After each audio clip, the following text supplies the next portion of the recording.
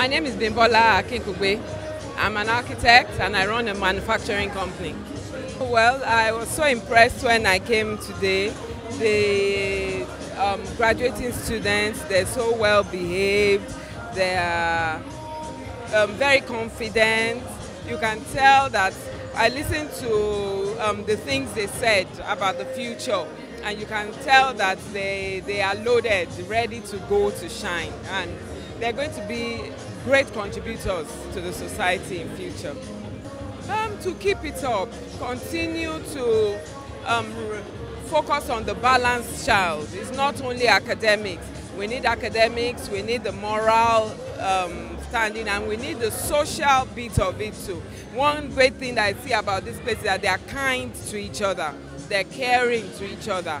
Very important too as they go forward in life.